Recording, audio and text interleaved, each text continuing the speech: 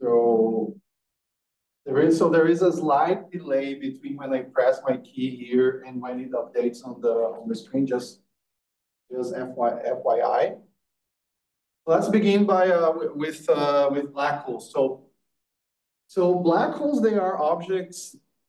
You know, in my opinion, they are fascinating objects. They are objects made of pure gravity, predicted by Einstein's general theory of relativity.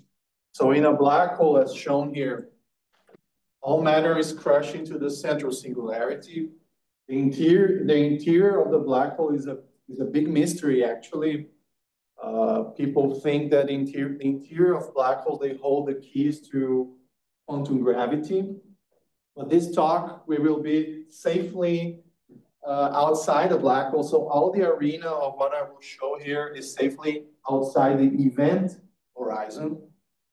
So the radius of the event horizon, which is the surface of no return, the radius is called Schwarzschild radius. Okay? And it's a pretty pretty easy to compute the, the, the, radius of the event horizon. In other words, the radius of the black hole. Uh, and inside the event horizon, it's causally cut off from the external universe. Okay, so that's the, the, the popular saying. You know, if you if you cross the event horizon, you cannot go back and you will, and once you cross the event horizon, you will be doomed to meet with the singularity, with the mysterious singularity.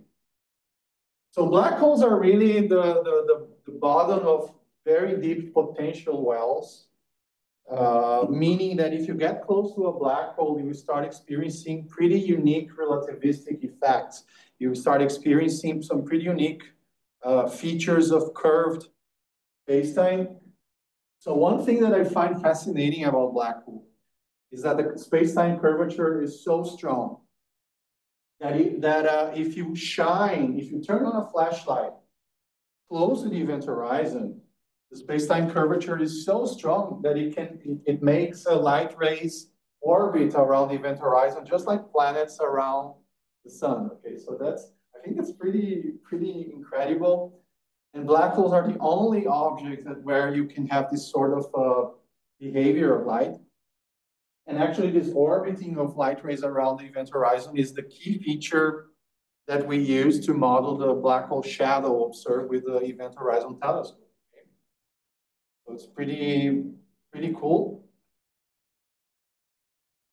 And so the, the, the question I want to, to make you start thinking about is what happens when gas drops from a large distance onto a black hole. So for the purposes of this talk, uh, let's consider uh, let's consider a stellar mass black hole. In other words, a tiny, a petite black hole for astronomical standards. Okay, uh, a stellar mass black hole, which is basically the size of the Bay Area with a mass of three solar masses. Okay, so it would fit nicely in the view in my view here. Uh, so what happens when you drop gas from a large distance into a stellar mass black hole? But the, but the, but the, the, the physics here applies to any sort of black hole. Stellar mass black hole, supermassive black hole with masses of uh, bigger than a million solar masses as well. So you start dropping, so nature, you know, black holes, you find black holes in places where there is a lot of gas around the black hole, okay? The centers of galaxies, or in binary systems where you have a, a star and the black hole, you know, is, is, is, draining matter from the star. But if you drop gas from far away into a black hole, uh, I'm sorry, you will not be able to hit the black hole directly. When you are dropping gas from far away, you know, the black hole is too small from far away, you will not hit it directly. The, the gas will have what we call in physics an impact parameter. The gas will have what we call in physics angular momentum, the gas will miss the target. However, the gas will form uh, because of the this cherish law, uh, law of physics called the conservation of angular momentum. When you drop gas from far away into a black hole, it will actually form a disk, which is a combination of a conservation of angular momentum, which is basically if, why if you spin a wheel this, uh, in a in a bicycle, the wheel will keep spinning. Uh, this is the reason why you form a disk if you drop gas into a black hole. conservation of angular momentum combined with dissipation processes, and you end up forming not any kind of disk. You form what we call an accretion disk around a black hole. So an accretion disk, as I'm showing here, is a disk of gas around, around, uh, around an object, in this case, a black hole. And it is accretion because the gas is accreting onto the black hole. Okay, so the, the, the, the disk is actually putting particles, depositing particles in the event horizon and increasing with time the mass of the black hole. In astronomy, we have lots of pretty pictures. Okay, so this is not this is not a real, this is not an observation of, a, of an accretion disk, okay? Just, just to be clear. I wish we could make such beautiful pictures, but as you, as you saw in the media, the first image of a black hole shadow doesn't look like much, even though it's the sharpest image ever taken by our species. But this is uh, an illustration, okay? An artistic representation of an accretion disk in a binary system this is what it look it will look like if you get if you got close to a to a black hole accreting matter. And now let's follow the energy. What happens with the energy of the gas as it uh, falls into the black hole? So initially far away, most of the energy in the gas is in the form of gravitational energy. And then as gas spiral inwards, spiral towers the black hole, the gravitational energy becomes kinetic energy. So the gas is moving, orbiting faster and faster and faster as it spirals inwards. And because of friction, uh, some sort of friction and then turbulence, this mechanical energy is converted into heat in the accretion disk. And eventually there are two routes for the energy in particles falling into a black hole. The energy, matter and energy can either get lost through the horizon or they can be radiated away as electromagnetic radiation. So let's say you are a computer scientist uh, or, you know, like you, uh, you are an engineer or you are a physicist that is not working in astrophysics. Why should you care about black hole accretion disks? You may be wondering okay, black holes are pretty cool, but uh, I mean, besides that, you know, why should you care about black hole accretion? And I will give you one reason here. Let's compute the amount of energy released by particles as they fall in the accretion disk. So let's let's think a particle begins from in, let's consider from very far away. We say in physics from infinity, particles slowly spirals in in towards a black hole the particles are losing energy, otherwise they would not approach the black hole. So the question is how much orbital energy is lost by particles as they come from very far away until the last orbit in the accretion disk, and when they finally dis disappear behind the event horizon. So the energy release, you can compute this as the difference in potential energy between infinity and the last stable orbit in the accretion disk around the black hole. It's a pretty, in physics, it's a pretty simple calculation in, in physics. You can do this using Newtonian physics to get an order of magnitude estimate of the energetics of the accretion disk. And so you end up getting the binding energy of the last orbit is the, is the amount of energy released by gas as it falls from far away to close to the black hole. And the answer you get is actually pretty amazing. You can compute the matter of energy conversion efficiency of black hole accretion disks. So I call this matter to energy efficiency this eta, which is the ratio of the energy output from the, from the black hole accretion disk to the environment divided by the mass of particles feeding the black hole in the accretion disk. And this matter to energy efficiency is actually bigger than 10%. And pay attention, this has nothing to do with Hawking radiation, okay? There is no quantum physics here. There is no particle physics, actually. You can do this Newtonian calculation. And this is suggesting that black holes are pretty uh, powerful energy emitters. So let's uh, compare here, you know, because We are at NERSC, you know, energy is in the name of this institute, so we should talk about energy. So the matter to energy efficiency of black hole accretion is bigger than 10%. Just, you know, for reference, the matter to energy efficiency of metabolism is one part in 10 billions. It's pretty small. We are pretty inefficient uh, engines, you know, we human creatures in, creatures in general. Wind power is 10 to the minus 14, the matter to energy efficiency. And I don't know why, but I put here as a scaling factor in the wind speed 120 miles per hour. It's a kind of an extreme example of uh, uh, wind power, but uh, anyway. Uh, and finally, nuclear fusion. Okay, with, they're doing this in, uh, in Livermore, right? They're doing fusion experiments. The matter to energy efficiency of, the, of nuclear fusion is uh, about point, um, 0.1%. Okay.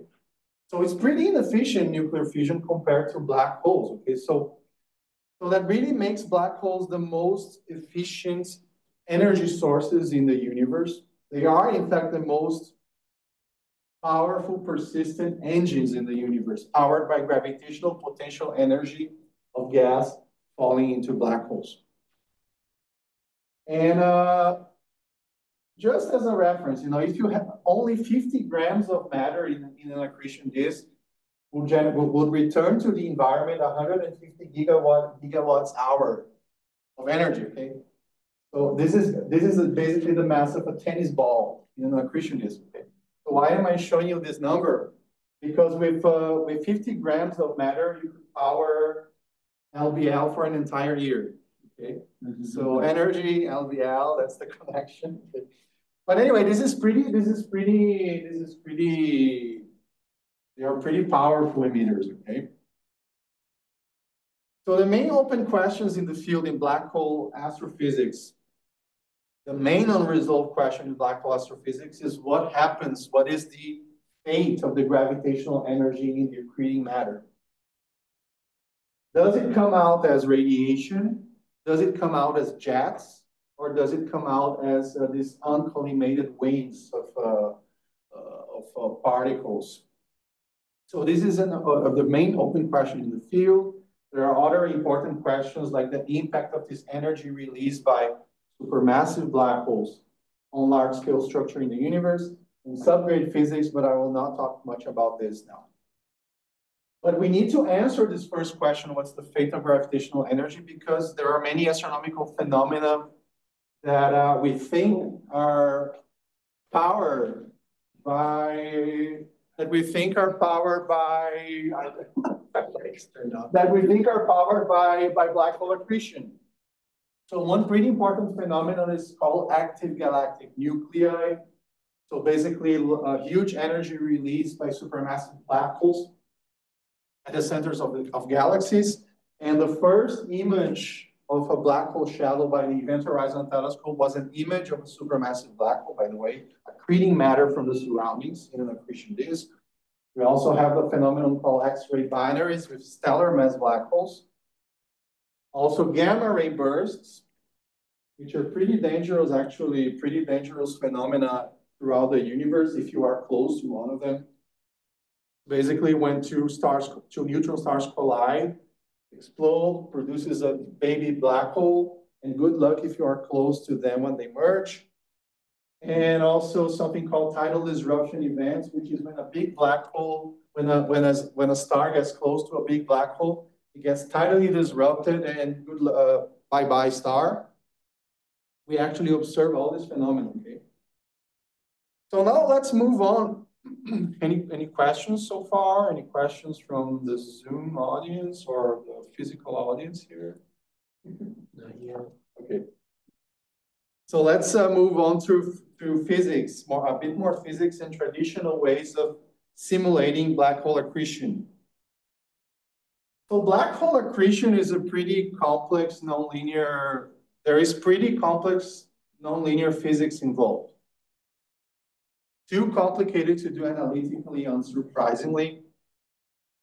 So what you need to, what you need to, to do, what you need to, what you need in order to model black hole accretion, you need curved spacetime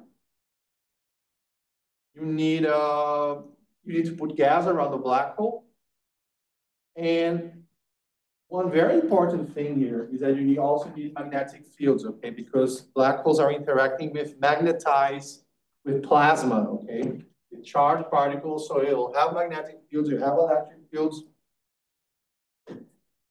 So it gets pretty complicated, actually. So in order, one, the main approach that we use nowadays to model black hole accretion and to understand the consequences of black hole accretion in the universe is an approach called GRMHD, which stands for General Relativistic Magnetohydrodynamics, okay? Magnetohydrodynamics is abbreviated as MHD. So magnetohydrodynamics is what happens when you combine fluid dynamics with electrodynamics and then the general relativistic part is putting curve, uh, all of this in curved spacetime. And what it amounts to is that you need to solve these uh, conservation equations. Okay, so be, it doesn't matter what, I mean, if you are solving this, if you're writing a code, it does matter, okay? But here for this, for this talk, it doesn't really matter what is written here. This is basically these equations are ensuring that quantities, flowing quantities are conserved, okay, through, as, as the fluid moves around. and the most commonly used GRMHD codes out there, here is a table of the most commonly used GRMHD codes, maybe in your work here uh, at, at NERSC, maybe, know, maybe you've heard about it, probably not, I don't know, but in any case, I'm showing them here. So these are, these are the three main the, the three main codes. Some of them they all started CPU only, okay, so MPI codes. All of these codes, they are based on what we call Godunov schemes, which is basically uh, solving something called a Riemann problem. Uh, but nowadays, it's codes, they move to GPU. They are massively parallel, uh, massive parallelized with CUDA in NVIDIA GPUs. Uh, most of them are open. One, the fastest one is not open. Here are the main developers in Illinois, Georgia, Princeton, and North Northwestern. And now I will show you one sample GRMHD simulation of gas falling into, into a Kerr black hole. So you cannot see the black hole. There is a black hole in the middle there, but you cannot see because it's black. uh, and what will happen here, we will let we will let the black hole eat a donut of gas. Okay, so usually we start these simulations by putting a donut, a nice, a nice thick donut of gas around the black hole. And what happens here is that as you start a simulation, and this is a pretty old simulation actually from 10 years ago, but as you run the simulation, there will be dissipation processes. There will be something called magneto, uh, instability, which dissipates angular momentum. The donut falls into the black hole, and then you have, have this swirling hot plasma uh, orbiting around the black hole. Depending on, there are many degrees of freedom here. Okay? So we have freedom to specify the magnetic topology around the black hole. We can change the spin of the black hole as we want. In this case, if you put a lot of magnetic field, if you feed the black hole with a lot of magnetic field, and the black hole is spinning, you get jets out of this usually. Okay? So you get uh, outflows of uh, energy coming along the poles of the of the of the angular momentum of the rotation of the of the Kerr black hole. And there is a lot of fascinating physics really here. This uh, so uh, there is a whole industry behind these black hole weather simulations, for which the technical term is GRMHD simulation. Okay. Here is uh, here is another. Oh, and by the way, talking about magnetic fields. Uh, hmm. This is what the magnetic field structure looks like in these simulations. If, if you are familiar with the flying spaghetti monster, it looks like the flying spaghetti monster indeed, okay? And this is just a cut of the magnetic field topologies in the equator, okay? It's pretty messy in the equator, but surprisingly in the jet, it's pretty clean. So somehow there is order emerging from chaos, at least in the, in the, in the jet component of the simulation. Here is another fascinating simulation. It's a, it's a little bit old. It's from uh, five years ago. So here in this simulation, this is the simulation by the Northwestern uh, Georgia group, uh, Georgia Tech group, uh, where they feed the black hole with uh, they basically misalign the donut with the with the with the rotation of the black hole, and then uh, and then basically some fascinating fluid dynamics happens, and the disk breaks up in in uh, several, uh, it's pretty complicated actually what happens here. And this is actually a CUDA, this is a GPU simulation ran in, the, they ran in, in Blue Waters, okay? Maybe they are running simulations here. I don't, I don't, I'm, I'm not sure. Okay, so this, so I just talked about conventional methods for simulating black holes. Let's now move to the center, to the center of this talk, which is uh, machine learning methods. So from the from a couple of years ago, I got interested in trying machine learning methods for applying machine learning methods for black hole weather simulation. And the main question that occurred to me is, uh, can machines learn chaos and fluid dynamics? Or in other words, can we do a data-driven forecasting of large spatial-temporally chaotic systems? In other words, can we replace this uh, uh, solving the partial differential equations by data-driven machine learning methods. And what really got me interested in this field of machine learning forecasts is when I saw a paper a couple of years ago, which re really impressed me. So on the left side here, we so this is what really got me interested in, uh, in, in this to begin with. In the left plot here, in the, in the left side of the slide, you have a his authors, Path, Pathak. They solved a uh, quite complicated nonlinear differential equation. So what you're seeing here is the solutions of this chaotic system, okay? And on the right side, we have the three-body problem, okay? The long-term evolution of uh, a three-body problem, not the sci-fi novel, okay? This is actually the three-body problem, okay? Not also the Netflix series, which I haven't watched. By the way, I read only the first book. Uh, but then, you know, these authors, they use machine learning methods to forecast these chaotic systems, and they got some, in my opinion, mind-blowing results for this simple, simple, let's, let's say, let's say compared to astrophysical systems. On the, on, the, on the bottom panel here on the left side, on the bottom panel, this is the machine learning forecast for, for the system, okay? And what blows my mind here is that the machine learning forecast this is not a neural network, okay? This is this is basically similar to a re recursive neural network. It's something called reservoir computing. And it holds, it holds pretty well forecasting the system for up to six Lyapunov times, okay? So basically it controlled chaos for a very long time, actually. And here on the on the bottom right uh, plot for, for those of you watching on Zoom, you can see the machine learning forecast for the three-body problem. Okay, so it's pretty similar. For a long time, uh, for for for uh, for the long term, it pre looks pretty similar to the actual solutions to the Newtonian equations. Okay, so this is really what uh, uh, what caught my uh, draw, drew my attention to to this field. And my immediate question is, does this work for astrophysical fluids and black hole weather? So the work I will present you now is uh, applying machine learning forecasting for black hole weather. So the idea here, uh, the, uh, the, the, the, the idea here is feeding some machine learning model with data from black hole weather simulations, okay? And seeing if what comes out of the trained model uh, is actually accurate and could maybe replace the actual solutions to the partial differential equations.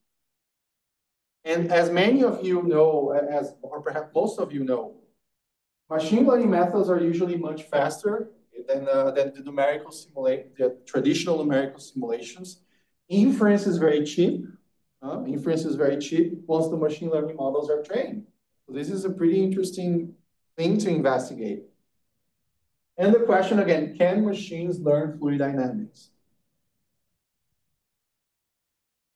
So our training data set, we use some in-house uh, simulations in my group. The training data set comes from black hole accretion disk simulations. So here, the idea is let's uh, let a black hole. In other words, a non-spinning black hole. Let the black hole accrete a gas donut. Solve this, the equations. So this is our training data set for our first pilot study in this subject. So this is the training data set. And we started playing with a convolutional neural network. Okay, so this is the this is basically what the conv, the convnet looks like. Uh, basically, uh, run-of-the-mill convolutional neural network. This this this architecture that we play with is called UNet, and we are we were using ReLU activation, so nothing nothing non-standard here. Uh, and our training data, basically, we, were, we, we treat this black hole weather problem as a computer vision problem. So the idea here, we are exposing the machine to images of the flow. And by exploring the translation invariance of convolutions, we are hoping that the machine will be inspecting these images of turbulent flows and somehow, well, that was our hope, learn turbulence by as a computer vision problem, exploring the translation, the nice properties of convolutions. Can I ask? Yeah. That, that you're doing like a, just a 2D image representation so of this it? is a 2D image representation. So we started we started with a 2D image representation, yeah. And you use just regular like Euclidean coordinate system, or you have to do some sort of transformation because of GR? We use uh, we use Euclidean coordinates. I yeah, we use Euclidean coordinates. The original simulations were done in uh, uh, uh, spherical coordinates, but then we converted to Euclidean just to make things uh, easier, you know. And we customize the laws, by the way. Like uh, we use some laws uh, adapted to the problem, basically adapted to, adapted to the to the distribution of gas. Okay, so the loss is a little bit different, but but yeah, it's a it's it's a two D computer vision problem. Okay, it's basically training to predict the future of the movie. Okay, training to predict the future of a movie. Okay, this slide is because I gave a matrix themed version of this talk. Okay, so uh, forget about this slide. Okay. we can we, we can leave it for the discussion. What is your favorite matrix movie? The first, of course. um, so this is the this is the result of this computer vision 2D experiment. Uh, on the left side, you see the training data, one snapshot of the training data for the gas donuts. Okay, so here, uh, uh, how can I describe for people on Zoom? So at the coordinate zero on the left of the on the left panel, you see there is a black hole there, even though you can't see because the black hole is tiny in the domain of the simulation, but there is a black hole there. So the left panel, the target, the data, the, the training data, middle panel is the prediction of the neural net, the convolutional neural network, and residuals on the right panel. So this is an example of no uh, now casting. Okay? So for when you are doing a forecasting over short time scales, and by short, I mean short time scales compared to the dynamical time scales of the system, it it would look like in principle the, the ConvNet is doing pretty well. Okay? It looks like, a, oh, and by the way, this is, so we train on, on several simulations. And then here for our testing, we did something pretty, uh, what we did here, we put a pretty static torus, okay? And we were testing whether the convolutional neural network would predict that the torus would remain stable, okay? That's a zero, that's a, the null hypothesis here, okay, the torus is pretty stable and the neural network should predict that the torus which would, should keep unchanged, okay? Uh, that, that's the test I'm showing you here, by the way. So we thought, you know, that the neural network, it seems to learn turbulence well in the short term. And for the now casting, it does the forecasting 10 to the four times faster than the simulation done in 200 CPUs in parallel. One GPU? Yeah, so this is, we are we were doing this in one GPU. Yeah. So all this training, we are not using GPU clusters. We were using our server with two GPUs. Okay, so it's pretty, pretty cheap. nothing, nothing fancy. So for the nowcasting, basically one year of uh, traditional simulations was reduced to one hour with machine learning. Uh, okay, so then you would think, oh my God, it's amazing, convolutional neural networks, they will solve all the problems in astrophysics. No, okay, because now we go to the, to the other side, okay? And I showed you only uh, 200 CPUs and CPU cores. Yes, I see some comment by Paul Lin. Yeah, uh, you mean cores or like yeah, yeah, processors? CPU cores, yes, yeah. exactly. the thing is, I showed you only one part of the results. Okay, now if we if I show you the longer term prediction for that pretty stable torus, okay, the torus stays stable, okay? So the, the neural network should predict that it remains stable, but it, that's not what it does on the long term. On the long, on the long term, so this is now the, this is now the, I guess the, the, the, the red pill of the, the matrix. Uh, you can see on the on the top panel that there is a pretty significant pretty significant deviation of the deep learning prediction from the ground truth. So what I'm showing you here is marginalizing over angle, basically, over marginalizing over one of the di physical dimensions of the system, showing you only R. So there is a, some model drifting happening, a pretty significant model drifting happening here. So the models are predicting variability where it should not be, which is basically a very uh, strong, uh, strong overfitting. It drifts exponentially from reality. And when we looked in more detail to see where this uh, deviation from reality is happening, we noticed that actually the, the neural network is injecting mass into the domain of the simulation. So here is, a, a, so you can see this. If you pay attention to the right corner here, it's showing the residual, the difference between the model, between the training data and the machine learning forecast. And what the neural network is doing here is injecting a lot of mass where it should not be. And the funny thing is that, so basically it looks like there are some ejections along the diagonals of the, of the torus there. And we actually see some, some sort of ejection that looks like this in actual weather forecasting in GRMHD models of black holes. But here, this should not be happening, okay? Not in this particular simulation. So this is an example of the fact that standard methods, and here in this case, a convolutional neural network is the standard method in this case. It, it, it lacks generalization for this type of forecasting. It's inaccurate away from the training domain. Okay, so this is a pretty, pretty big problem.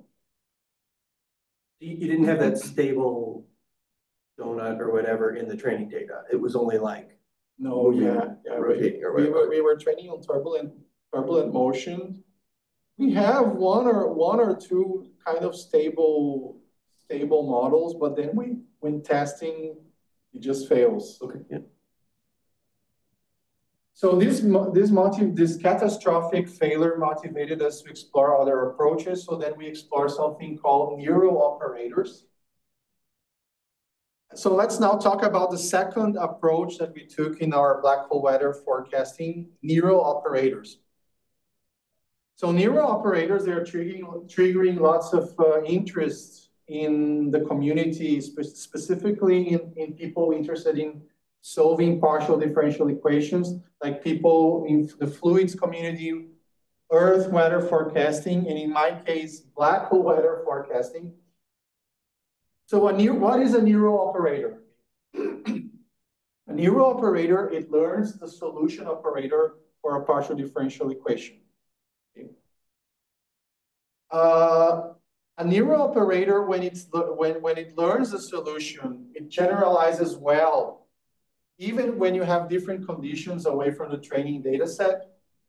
And it's supposed to be mesh invariant. So if you change the, the mesh of your simulation, you would not need to retrain your neural operator. So that's pretty uh, interesting in my opinion. So what you're what I'm showing you here is the typical architecture for a neural for these neural operators. This looks like a ResNet. If you look like it kind of look like a if if you know what I'm talking about, look like this uh, ResNets of uh, neural networks. So pretty, pretty, uh, anyway, stacked layers, one, one after the other. Uh, uh, and what, what is important for us here are the yellow layers, the layers of integral operators and the activation functions. And then we zoom in in one of these layers.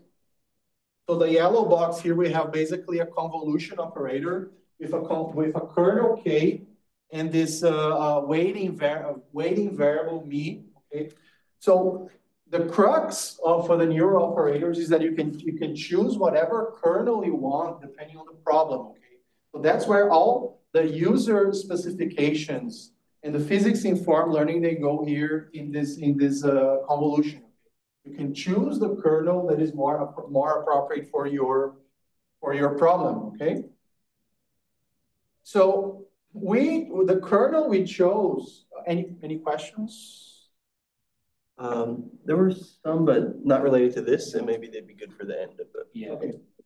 And then, uh, and then the particular kernel we chose is something called Fourier neural Fourier neural operator. Okay, so the specific neural operator that we are using here is uh, we chose the S kernel, the Fourier transform.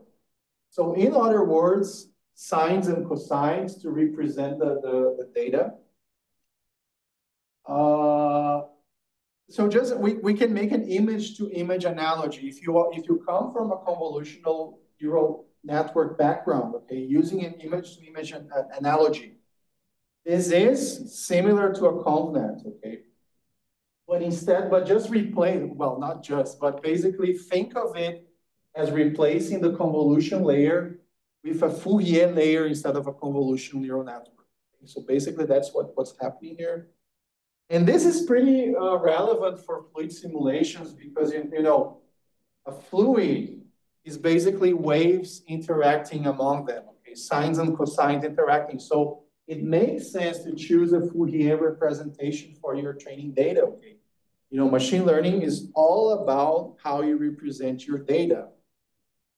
And fluids are wave-like solutions transporting uh, quantities.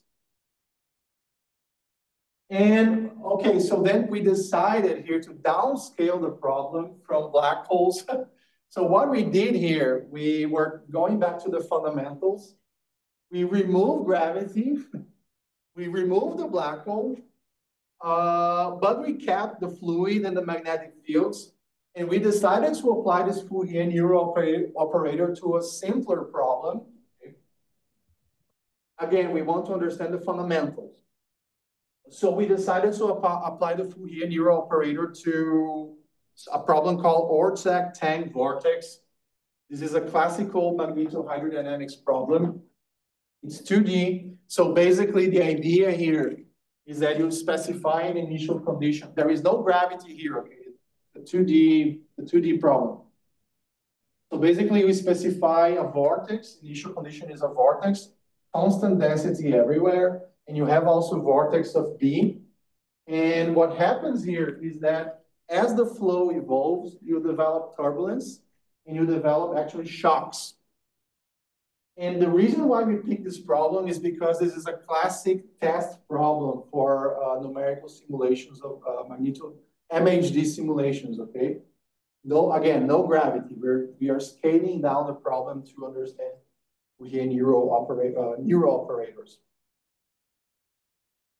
By the way, uh, it occurred to me that, you know, if you are not familiar with uh, magnetohydrodynamics, it sounds like an experimental electronic band.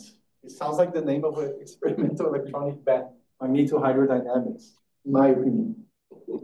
But anyway, so the training data here we generated again for numerical simulations. Now we, we chose a different code called Fargo 3D. It's an MHD code parallelized with uh, CUDA GPUs.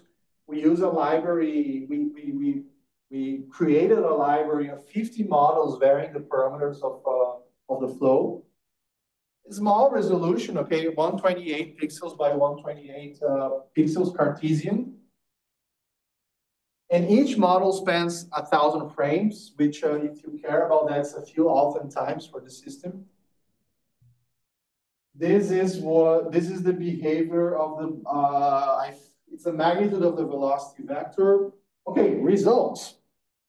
Results. So uh, now I will show you the forecasting results for the what the color here maps the magnitude of velocity vector. Okay, that's what the color is mapping here. Left is the data original the, the original data, the test data. Middle is the prediction of the neural of the Fourier neural operator, and this is the uh, the minimum square the the square error. Okay, so let's go. Okay. So if you pay attention to this, you can see that it's actually holding up. The, the neural operator forecasting is actually holding up pretty well. I mean, looking with the naked eye here, uh, it looks, the, the, the prediction of the neural operator is pretty, looks pretty much like the, the target data. Now, when you look at the, at the, at the error, at the MSE, you can see that there are, you know, like particularly problematic regions and these regions are actually correlated, correlated with shocks, with the occurrence of shocks in the, in the system. So uh, the neural operator has a hard time understanding uh, regions where you have shocks. And if you look here at the, at the cumulative difference, you know, it builds up. If you do the average over time, it goes up to 10 to about 10%, okay? So there is still a long way to go to get this uh, cumulative difference down to the, the machine precision. Okay? But this is much, much better than what the, the results from the, from the convolutional neural network. So in my opinion, this holds a, holds a lot of promise for fluid dynamics using neural operators instead of more uh, standard uh, machine learning techniques. So uh, for the sake of time, okay, I will just mention two other things that my, that I have my group has been doing in the past. Okay, and I cannot go this. Why is this not working?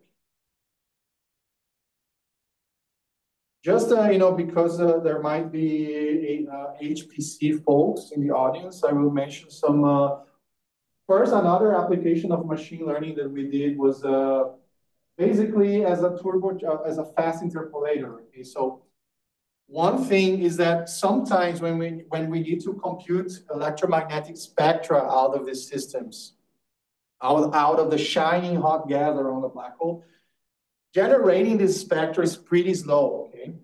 And then depending on the model you use, you cannot really do statistics with the models because it takes a long time to generate spectra. So one thing we did uh, so we trained a deep learning method. It's not a convol, it's just a forward uh, network. It's not a convolutional neural network to replace the model with uh, deep learning. Okay, and this is a pretty pretty nice uh, uh, application of, of machine learning to as a fast interpolator on a grid of models. And because of this, what was before impossible, now it is possible. We can do Bayesian inference Previously, the model took one minute per spectra. Now, with thanks to machine learning, it takes uh, less than a less than a millisecond. So this is a this was a paper uh, led by my student Ivan Ivan Almeida, deep learning Bayesian inference for for active galactic nuclei. And the other thing that I wanted to mention to the HPC folks here is that another project we are working on is. Uh, Again, black hole weather forecasting, we want to understand how this hot gas shines because that's what we observe with our telescopes. Okay, we see light shining coming out of the hot gas. And we need to model radiative transfer, how this hot gas shines. We need to do something called radiative transfer in curved spacetimes. In other words, understand how photons, they, when they are generated in the accretion disk, they propagate to the observer. And uh, there is one specific uh, way of approaching this, which was actually implemented in OpenMP, which are using the pragmas, you know, like uh, for HPC folks, pragmas, you know, pretty, there, there was a lot of potential for accelerating this uh, radiative transfer using and using GPUs. So we are working on, porting this code to, to NVIDIA CUDA, and we are we have some pretty pretty uh, promising preliminary results, okay, we are testing the kernel. So basically we wrote CUDA kernels, a lot of CUDA kernels for propagating these photons, generating photons, absorbing, propagating curved spacetimes. And this is working collaboration with Pedro, Pedro Mota in São Paulo. Anyway, so this is what I, uh, for the sake of time, uh, this is what I wanted to share with you guys. Machine, machine learning and black holes convolutional uh, summary, long story short, uh, convolutional neural networks, they, they learn the short-term evolution of the black hole flow patterns. The short term is okay, and it is blazing fast, but of course you don't want a method that is, uh, is fast and wrong, okay? You want a method, a method that is fast and correct. And for the long term, it violates the convolutional neural networks, they violate mass continuity, overfitting, and then when we test the neural operators, not for a black hole flow, but a simple without a, a, a flow without gravity, but with magnetic fields, neural operators seem to be very promising because they have a better physical representation of the what's actually happening in the fluid. And we plan to apply this in the future to black hole flows as well. And I can envision a future where AI I would say probably in 20, 30 years, maybe shorter than that. But uh, in general, I know that in Earth weather, weather forecasting, this is already happening. But I envision a future where in 20, 20 years, machine learning methods will re replace could replace numerical solvers. And certainly NERSC has a big, major role. We will have a major role in this. That's it. Thank you.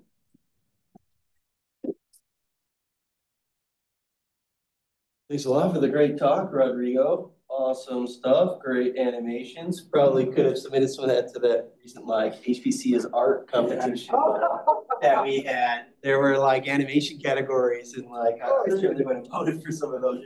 Um, uh, we have some time for questions. There were a couple that were still uh, we're back here on Zoom. Maybe I can. Oh, and by the way, I forgot to mention this work was funded by several several funding sources. I forgot to mention that we, we collaborated with an NVIDIA partner early on in this work. Uh, and NVIDIA, I just wanted to acknowledge NVIDIA donated to us a couple of GPUs for this work early on. So we were very happy to have a, uh, an NVIDIA partner early on. Yeah, yeah, they're they're a beneficial partner in a lot of yeah. Our colleagues work with them a lot on the weather forecasting. Um, Nestor here online was talking about a paper from DeepMind uh, I'm not sure exactly which one he's talking about, but I guess some forecasting problem where they would introduce noise to the simulation in order to improve long-term accuracy. Have you have you considered that or something like that? No, that's a that's a that's Nestor. Uh, that's a great idea, Nestor. Uh, I I saw the DeepMind forecasting paper, but I we didn't think about introducing noise I would be interested in learning exactly how they how they do the noise, how they put noise in the training data, uh, which probably is similar to dropout techniques, I guess. Like, uh, uh, yeah, no, very. Thank you, very interesting. Yeah, maybe Nestor can share the reference. Um, uh, Peng Fei had a question, although maybe the answer was neural operators. Um, mm-hmm. it, I think it's still an interesting question. So just uh, kind of how far into the future can you actually extrapolate along the time axis? Do these simulation results become overly smooth? Oh, okay. Uh, for the a few ways to interpret that question. For the neural operators, I guess. Well, so okay, let me answer the question broadly. For for the for the convolutional neural network case, it was not very good, you know, not for the long term, but like uh, the relevant time scale for the for the black hole donut case was something we call viscous time. And way before it approaches the viscous time, the, the, the convolutional net drifts exponentially away from the ground truth. Now for the neural operator, we didn't see, so the thing is for this for this particular vortex system, uh, what, what's the name of the person that's Huh? Peng Fei. Peng Fei, hey Peng Fei. Uh, uh, for this for, for the for the magnetic vortex I showed you. Um, so what happens is naturally. So again, oh, So there are periodic boundary conditions, and naturally, as the flow evolves, it dissipates energy, okay? Energy cascades down to the smaller scales, and the flow, even in the training data, the flow naturally becomes more homogeneous, okay? The shocks dissipate. Uh, but for the all the, so the thing is, for the entire duration of the training data set, the neural operators had a pretty good behavior, actually. We didn't see anything catastrophic happening comparing the models with the data for the span of our training data, okay, for the for the test, sorry, test data, okay. So I does that I hope that answers your question. And by the way, the relevant, I don't think it maybe it matters, but you know, it's we the training data we simulated for a couple of Alfvén times, okay, which is the time magnetic disturbance takes to travel through the box. That's the relevant time scale there anybody cares. yeah. Like what about like that simulations, those cool animation of like traditional simulations you showed? What are the like I mean like way back the the cool like visualization ones. What were the time scales for those? Like how fast was time going if that was like a realistic size? Yeah, so uh so the duration of the of the, of the of the fancy simulations I showed early on, they are comparable to the black hole simulation we trained the convolutional okay. network. Okay. So the, the, the relevant time scale is the viscous time scale. And yeah. then they are they start approaching, they are comparable to the viscous. They are nowadays, we are all starting to to to because of Moore's law, basically, we are able to simulate systems close to getting close and closer and closer to the viscous time scale. But like, I guess I'm wondering, were we watching uh, something that's close to real time in those with where you showed oh, like, for example, like the tilted tilted ones, or are you like... asking the, from code units of time to real time? Yeah. Ah, yes, that's uh, those early animations you had that looked really cool. Oh, that's your question. I'm curious, just uh, mm-hmm. Yeah, like this, right? Were we watching one day worth of real time or? Okay, uh. It's okay if you don't know. No, no, I, I know, I know, but the answer is a bit subtle because for black holes, the, the duration of the of the system scales with the mass of the black hole, okay? Yeah. Lower mass black holes, things happen faster. So for the same duration here, okay, for us, if there was a stellar mass black hole, in other words, a black hole the size of the Bay Area, all of this happened in less than a second in real time. Oh, okay. Okay. Now, for a supermassive black hole the size of the solar system, this is less than one minute. So, sorry, sorry, sorry. For, for, for a supermassive black hole, this is uh, this is a couple of days. This is a couple. I'm, I'm doing very rough calculations in my head. Yeah, I'm just trying to get a little intuition for how fast yeah. it's really going. So, so basically, this is uh, less than a second for a stellar mass black hole. To get the duration in real, in physical units, so supermassive black hole, you have to multiply this by 10 million. Okay, so that's actually a couple of days, perhaps months, yeah, in real time. Um, Okay, we are a bit over hours, so if people need to drop, they can, but there are a couple questions more still I could uh, feed to you. Any questions in the room, by the way? Um, uh, Poen had one here. Uh, a first example where you're doing CNNs on the 2D case. Uh, it's a question about um, uh, symmetry. The prediction is not symmetrical along the z-axis. Uh, do you expect this problem will be alleviated with neural operators? Or are there other ways to force that the model learns the spatial symmetry of the problem? Yeah. So who is asking the question? A Poen. Poen, hey Poen. uh, Hi, very nice talk. Oh, thank you. Hey, nice to hear back from the void. uh, They're real people. Yeah, thank you, thank you for the question. Um, Okay, so this would be a yeah. So that's the promise of a neural operators that they they have a mesh-free representation of the data because it's actually learning the solution operators. But one caveat here is that uh, I think that when we apply the neural operators to black hole stuff, we will need to probably change the, the, the, the specific kernel, the specific operator, the specific neural uh, uh, kernel that we use. Because for the following reason, the Fourier neural operator, uh, it works best with periodic boundary conditions, okay? Because you have a sines and cosines which go on for infinity, okay? Mm -hmm. So they, they, they really shine, and this is something I didn't mention during the talk. But the, the, the, the vortex that I showed in the last part of the talk had periodic boundary conditions, okay? Perfect for a Fourier, Fourier neural operator. In this case, the, it's not periodic boundary, well, along the pole, it's periodic boundary conditions, but not along the far away from the black hole, okay? It's not periodic. So I think we'll have to change the specific details. So one thing I'm curious about is uh, this doesn't exist yet. It doesn't exist, but uh, something that I'm curious about is trying something like a wavelet neural operator. Okay, so wavelets is a representation of the data, particularly when it's not periodic boundary conditions. Okay. Another possibility here would be replacing the Fourier transform with a Laplace transform. Okay.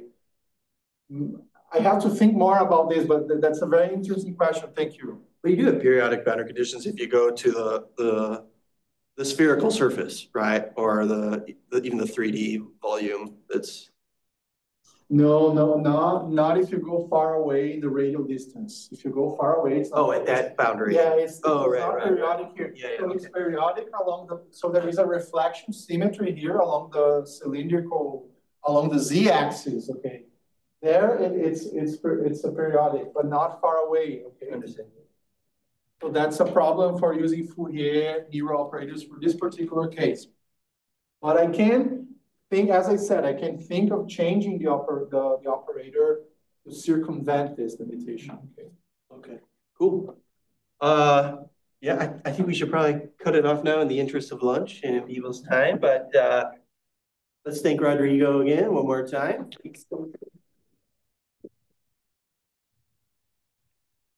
Thanks for being here.